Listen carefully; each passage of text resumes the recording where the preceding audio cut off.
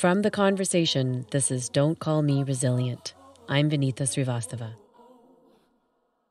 The flag is not just violent. The flag can be many different things.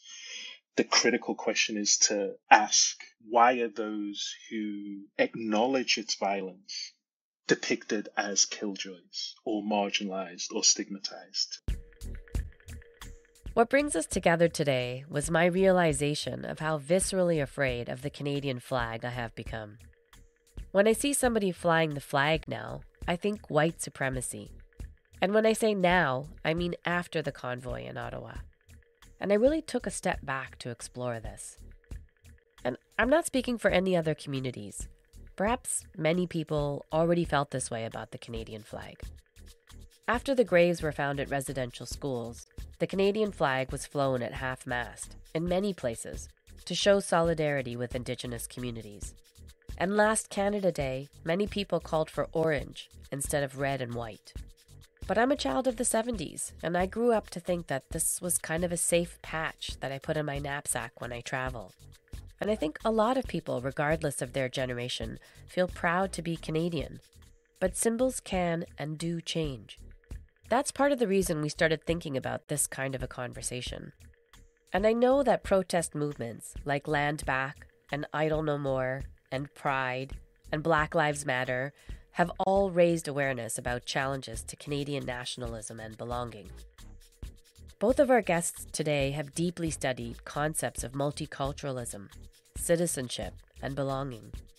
Daniel McNeil is a professor and Queen's National Scholar Chair in Black Studies at Queen's University. His scholarship is intersectional and looks at history and culture and the complexities of global Black communities. Also joining us is Lucy El-Sherif, a PhD candidate in ethnic and pluralism studies at the University of Toronto. Lucy explores questions of belonging and citizenship and asks, What does it mean to be a settler of color in Canada? As she holds up a mirror to her communities.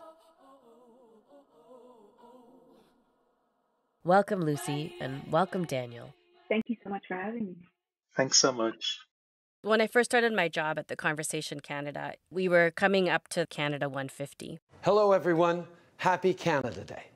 Today, we celebrate 150 years since Confederation.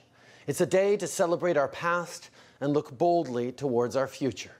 So we were sitting in our newsroom, and there was a lot of debate about whether we should acknowledge the colonial anniversary. We have Indigenous peoples living in third world conditions in first world Canada. We're here on Algonquin, unceded and unsurrendered territory. Our people have suffered hundreds of years of colonialism. This celebration of 150 years is of 150 years of colonialism and policies of genocide.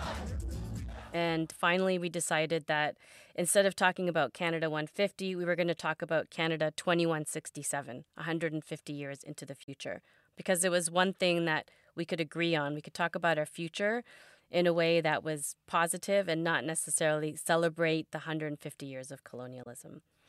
Well, we're only five years removed from that now, and I know that in our little corner, in our newsroom, things have really changed.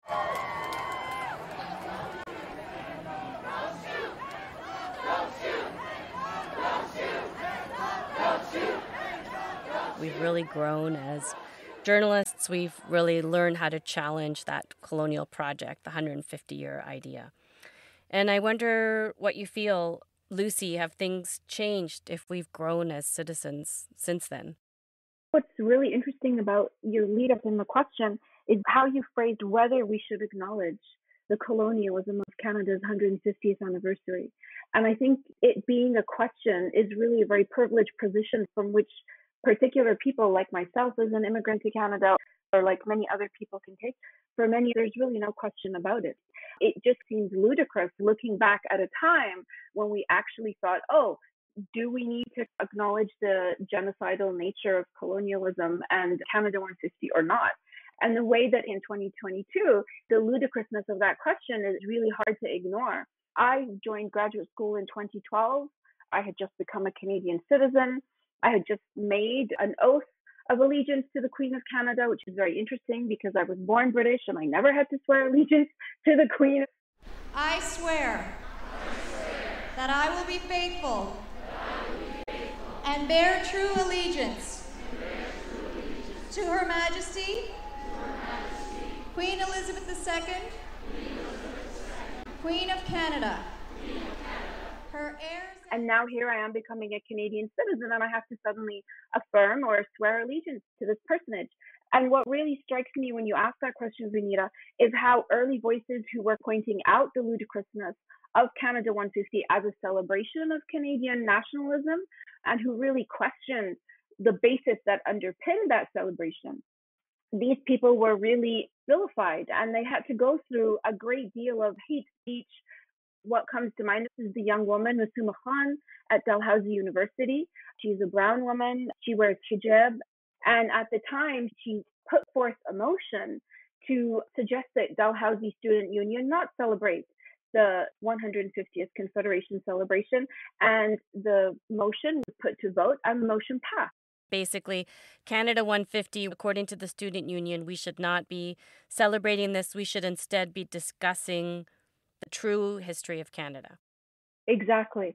Her motion was not for all of Dalhousie University, it was for Dalhousie University Student Union. She was vilified and people came after her personally. And the attacks that came at her were very well known attacks that are directed at people of color and Black people and Indigenous people whenever we question what's going on with Canada. Who do you think you are? Go back to where you came from. You should be grateful that you came to this country. And particular attacks were directed at Ms. Khan in relation to her wearing hijab. And they're very specific Islamophobic attacks that were made at her. And what's also interesting about this is Ms. Khan was not an immigrant. Ms. Khan was born in Canada. She had lived in Canada all of her life. Her parents had immigrated a few decades ago, but she was as Canadian as anybody else, except for the fact, of course, that she was brown and she wore a hijab. The attacks that came at her were incredibly hateful. She responded to some of them, and what ended up happening that was really mind boggling is that Dalhousie University sought to discipline her for the responses that she made to the hate speech that she was facing. So, what does it mean for a person of color to make a statement like this? Whereas if you're going to step out of the lines of what white liberalism in this country sets out, you're really sticking your neck out and you could face some very serious consequences. We really need to think about what does it mean to be a person of color living as a settler on indigenous lands? And what does it mean for us to express solidarity with indigenous people? The stakes for people of color are very different. Maybe we can bring Daniel into this conversation. There's important connections, not just to think about how we approach this in a Canadian context. But also, a lot of my work is thinking about transnational or translocal connections. In my forthcoming book, Thinking While Black, we talk about a famous book that was written in the 1980s called There Ain't No Black in the Union Jack. And that was one of the chants that hooligans and members of the far right used to chant at football games and in marches to try and exclude and alienate people of colour in the UK.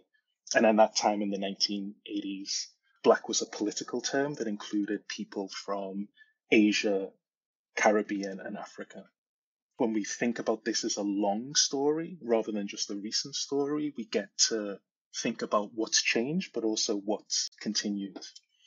As a graduate student in the 2000s, I think back to that period and I think back to what were the narratives that were being shared and being repeated in the media.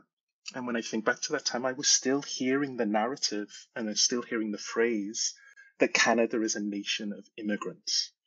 Have we challenged that narrative? Is that still being repeated?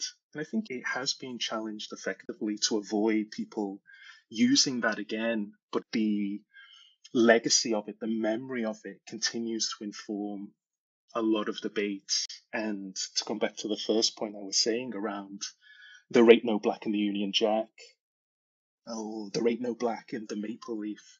I don't think we have those types of narratives anymore, but the question then becomes on what grounds is blackness permitted or supported or recognized when it does enter into the Canadian public sphere. And I think that's an interesting conversation that we still have to have. And as Lucy articulated so beautifully, we still have to struggle for. You're talking about the Canadian flag, and is blackness a part of Canada? Can we just ask that question? My sense would be that blackness is part of Canada, that lots of people have struggled to ensure that it is recognized. But I think a lot of my work and a lot of the work of great scholars like Richard Iton, Katherine McKittrick, and others is to address not just how marginalized groups have fought for recognition within a state that has so often demonized them, but also to think about the limits of that recognition. And so that's why I wanted to bring up that point around it's not just about blackness being recognized, it's also about acknowledging the limits of that recognition.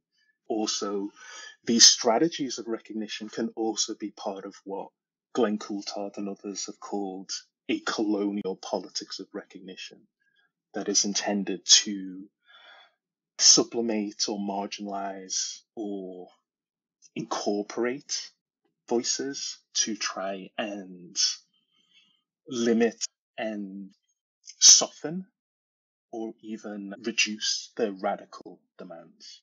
I think that's partly what you both write about when you talk about the brand of Canada. We're talking about your analysis of Canada's multiculturalism and multicultural policy.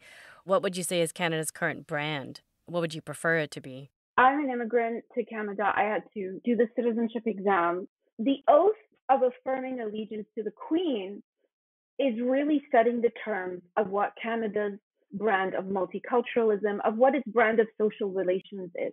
You're all going to live in this country, and your allegiance is to the Queen, which is allegiance really to white supremacy. Therefore, in relating to Indigenous people, I am expected to relate to them through the oath that I have made to the queen, or through the expectation that white supremacy organizes my relationship with indigenous people, with black people, with people who are from other social groups.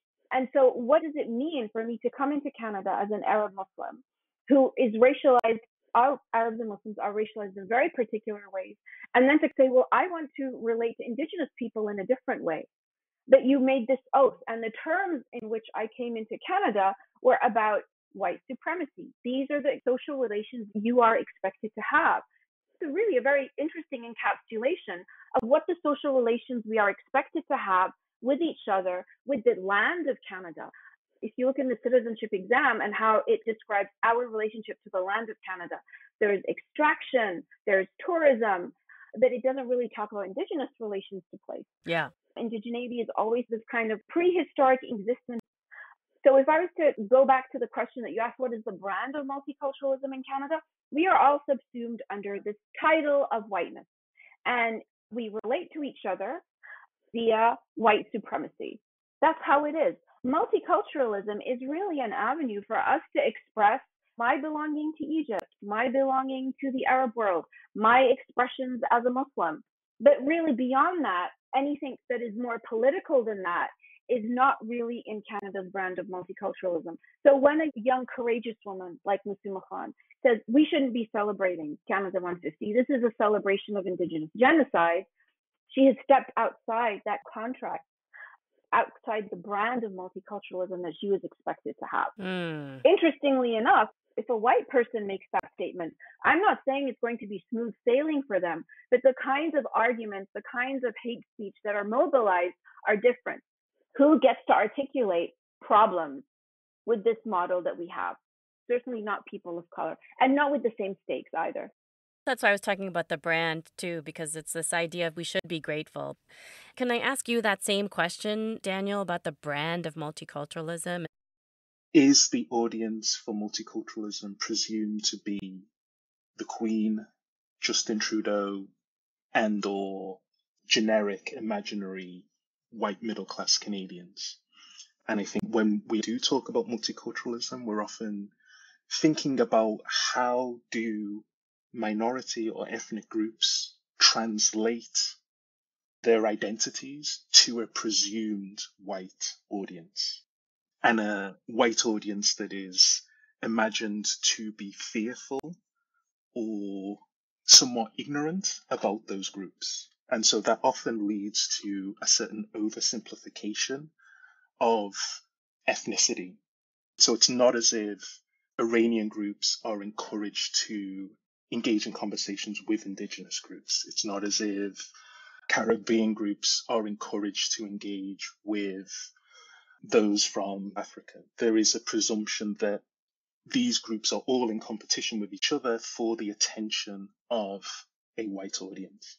Part of the work I'm doing with students to think about an immigrant's guide to Canada, where the presumption is not here's how we encourage and train individuals to fit in to a presumed Canadian norm, but how do we listen more carefully to the insights of migrants to Canada who have interesting things to tell us about the liveliness, the radicalness, the ambiguity, the messiness of Canada.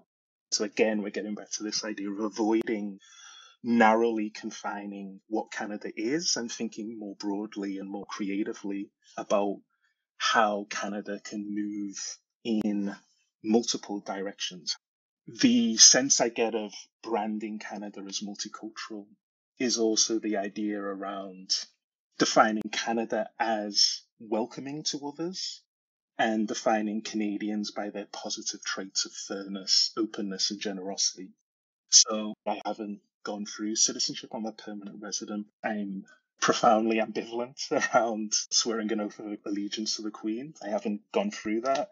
But when I have studied the citizenship documents, when other scholars have addressed these documents, that's what they've tended to find that these citizenship documents continue to address and imagine Canada as fair, open, and generous these documents do acknowledge racism in Canada.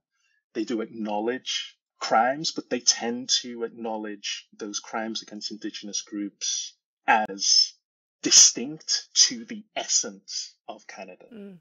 That those crimes happen, but the state and Canadian institutions can rectify them. These abuses against minority and ethnic groups are not seen as constitutive of Canada that's an important distinction. Addressing history becomes so important because if there is this presumption that migrants have been given freedom when they arrive in Canada, then it's what a lot of philosophers have called a horrible gift of freedom. Because it not only takes away the agency of our ancestors who struggled for their freedom, it also says that because we've given you freedom, you should eternally be grateful for it. And any type of expression of rage, of anger, of frustration is seen as illegitimate. You wrote an article for us that said that Black Canadian activists are pressured to be quiet, pressure to be quiet leaders. The terminology that you use also in that article is shy elitism what I'm trying to get at with the question around shy elitism or the concept of shy elitism is this idea that Canadian society may talk a lot around incorporating prominent migrants such as Rosemary Brown into Canadian society. Rosemary Brown, the first black woman to run for federal leadership. Sisters and brothers, I am here today to ask you a very important favor. I am here to ask you to select me to be the new leader of our party. What I'm thinking about with shy elitism is this idea that she's given a degree of prominence because of her connections to McGill, because of her connections to prominent institutions in Canada. So there is this form of elitism in terms of saying what types of respectable figures can be brought in to Canadian society. What I wanted to think about with this concept of shy elitism is how there can be a shy form of elitism in Canada where there is this emphasis on McGill, U of T, Queen's as elite institutions, but at the same time, people are told don't appear elitist. Rosemary Brown famously talked about how to talk about transformative issues her and other immigrants would say that it has to be communicated in the most banal possible way to the everyday Canadian voter. And what I worry about with this is the emphasis around oversimplifying fails to acknowledge the capacity of audiences to think critically, Mm. to do the kind of work, to search out information. What's interesting for me is how invested Canadians are in this idea of multiculturalism. And in my research, when I asked young Arab Canadians, what are the things that you're proudest of about being Canadian? And they always say the same two things multiculturalism and peacekeeping. Both of those things are incredibly problematic for various reasons. When you talked about being a child of the 70s, I was also a child of the 70s. I was born and raised in the UK in my early years. And when I was in Canada and I had my children in Canada, I was also amazed at Canadian multiculturalism. I was invited to come into the classroom and talk about Ramadan. I was encouraged to share Arabic songs with my children's teachers. And when I compared that to the 70s in the UK, where there were lots of people who would not even talk to me because my parents were from Egypt, relatively, Canada was amazing. I also immigrated to Canada from the United States after 9 11.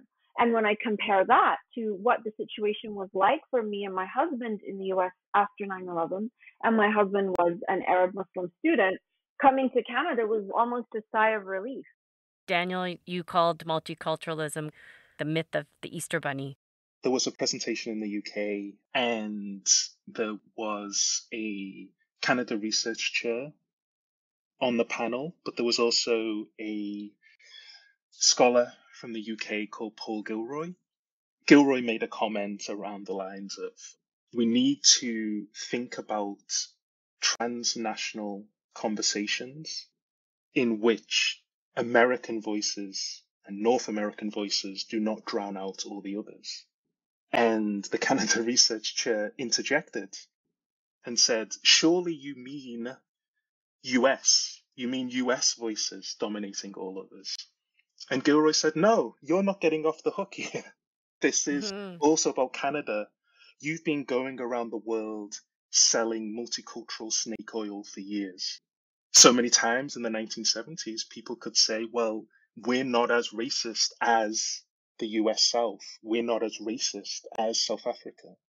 But that's clearly not the point. The point is not for us to have this sense of distance that allows us to feel a little less guilty. Superior. Right. It's the idea that Canadians are exceptionally superior, we're better than those other places. We don't just want to think about guilt. We also want to think about the idea that shame may be a more productive emotion. By that I mean one can often live with guilt. You live in it with your private environment, but you still go into the public.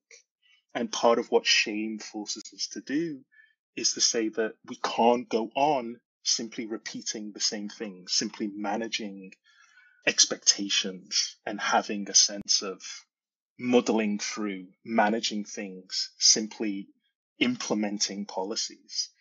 Sometimes we need to step back and actually ask these deeper, perhaps more existential questions around what is this project? Not just what is this brand, but what is this project? What constitutes our identities? And in performing those identities and cultivating those identities, what harm are we doing? What are we excluding? What violence are we veiling or perpetuating? And how are we often veiling the ongoing dispossession of land? What kinds of existential questions should we be asking ourselves in order not to perpetuate the violent system that we're brought into? And when I think about how, as communities of color in Canada, how many communities are struggling to survive or struggling for recognition, what's really important for us to consider is what does it mean for us to think about our relations with other social groups outside of white supremacy? What does it mean for me as an Arab Muslim woman with white passing privilege to struggle for recognition in a system that ultimately subjugates and is anti Black? that is fundamentally against Indigenous people.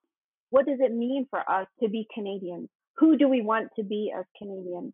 The real issue, in my view, with white supremacy, it's really insidious how it organizes our relationships with each other as people of color. So if I can make gains on the ladder of social and racial mobility by walking over or stepping over or climbing the ladder on the backs of other people, is that ultimately what we want for ourselves as communities?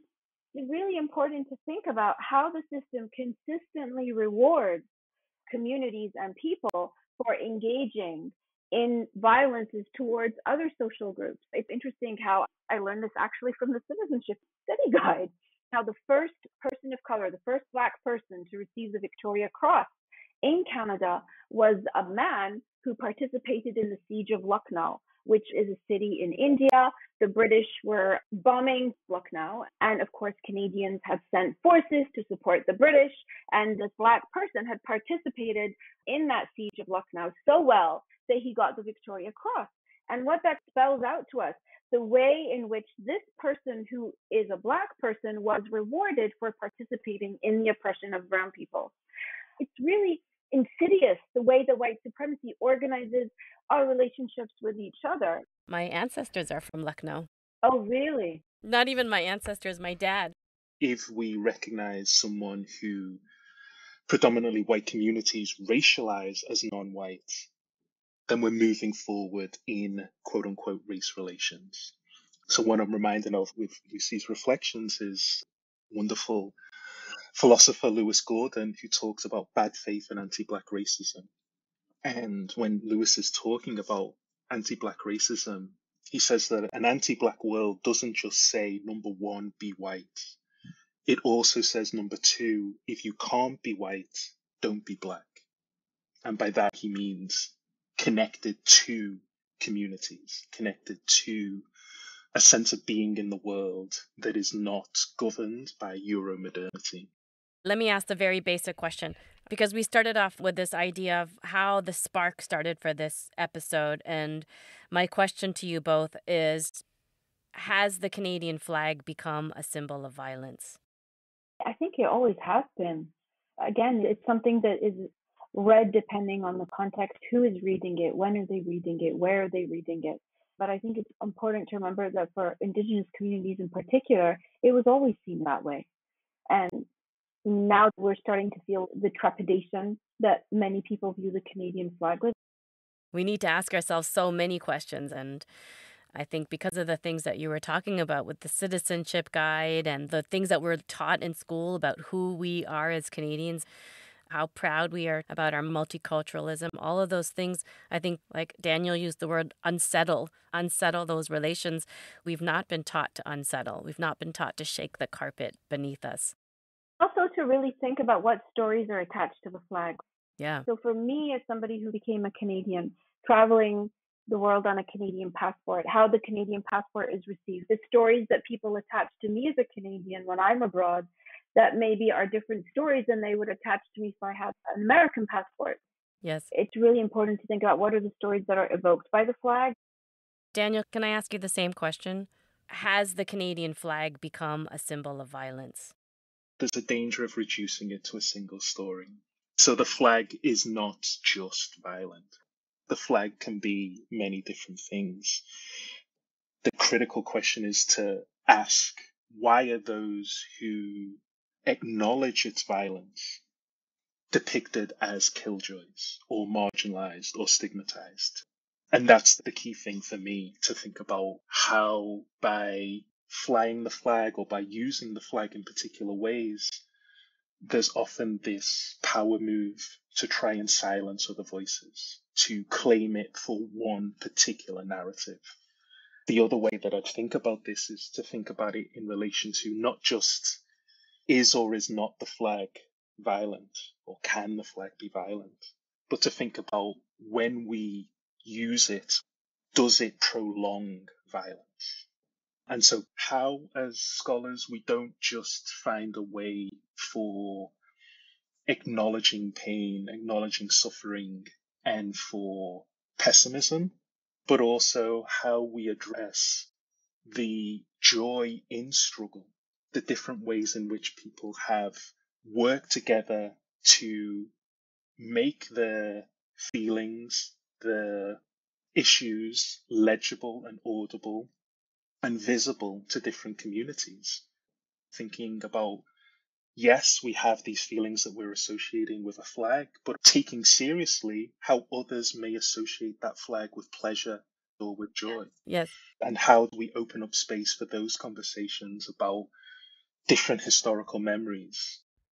It kind of reminds me of this idea of Langston Hughes that sometimes one of the most patriotic things that one can do is to challenge your nation. This idea of citizenship, this idea of belonging is a fluid thing, and we need to keep challenging it. Thank you both very much. I really appreciate both of you taking the time to speak with me today about these very complex issues. Thanks so much. Thank you so much. That's it for this episode of Don't Call Me Resilient. Daniel and Lucy, thank you for coming on and talking about this challenging subject as we roll into this year's Canada Day. Let us know what you're thinking after that conversation. You can email us the old school way or find us online. I'm on Twitter at WriteVinita. That's at W R I T E V I N I T A. And don't forget to tag our producers at ConversationCA. Use the hashtag Don't Call Me Resilient. And if you'd like to read more about multiculturalism, nationalism, and the Canadian flag, go to theconversation.com. We have all kinds of information in our show notes with links to stories and research.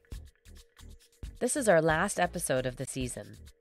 If you missed any of our episodes, they're all posted on our website and wherever you get your podcasts. If you missed any, go back and have a listen.